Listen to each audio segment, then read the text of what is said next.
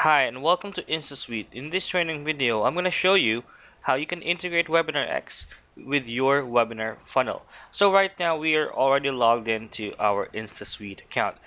So from here, we first need to make sure that we have a funnel that we can use for this example. So right now we're going to click on build funnel and we're going to quickly create a webinar funnel here. You can also use a product launch and add a webinar page or opt-in page that connects to your other connects to your webinar. All right. So let's actually do that instead. Let's do a product launch.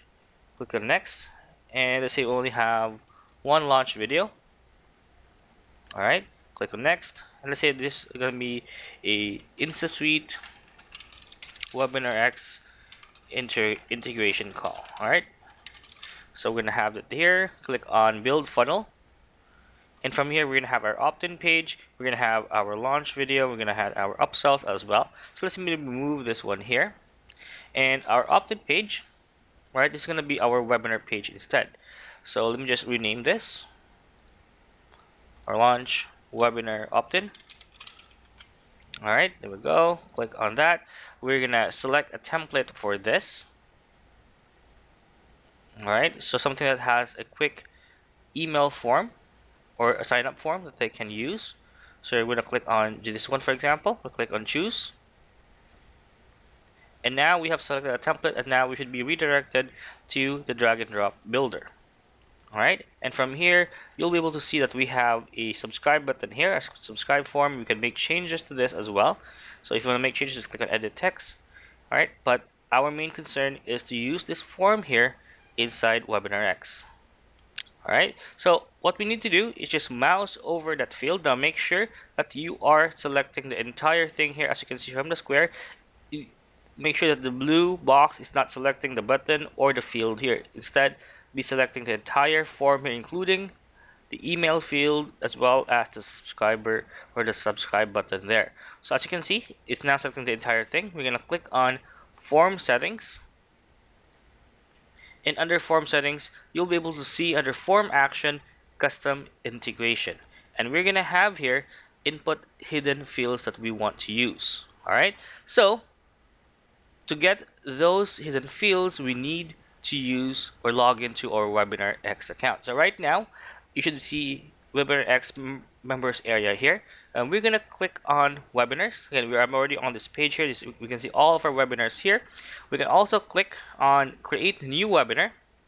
Let's say for example we're gonna put a name the same name here. Let's say InstaSuite WebinarX integration. All right there we go. So let's put in the same description here.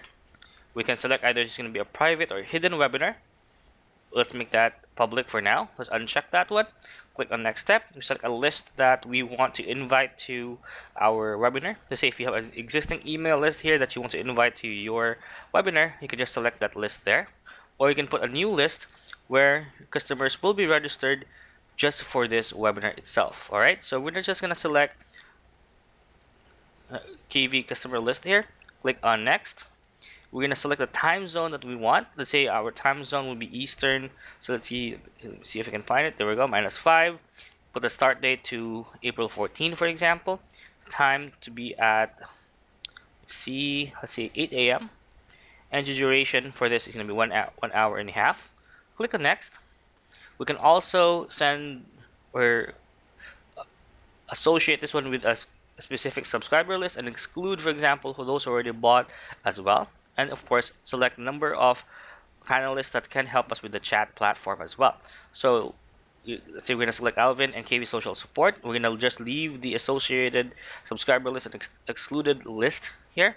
Click on add and our webinar is now created here. So the next thing you need to do is click on the edit button. And from here this is where you'll be able to get the form codes as well. So in order to do that, we simply go to integrations and as you can see from here, we have our form code that we can copy and paste here. So we can either show the first name and last name or uncheck that, that one if you only want to collect email addresses. So if your field in InstaSuite only collects email addresses, make sure to uncheck the first name and last name Alright, so we're gonna go back here. We go back to integrations. We copy this entire code here. And I'm gonna uncheck both first name and, and last name since I don't have that in my field. On generate. There we go. We have a new code that we can copy here. So once we have copied the code here, we simply go back to the, the drag and drop builder. Again, we're gonna highlight the entire form here.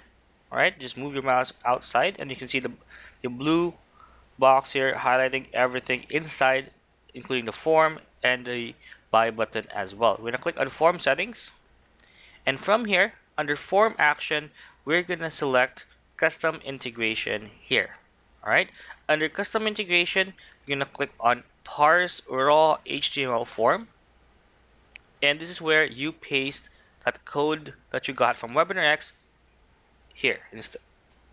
Alright, so paste that code there. There we go.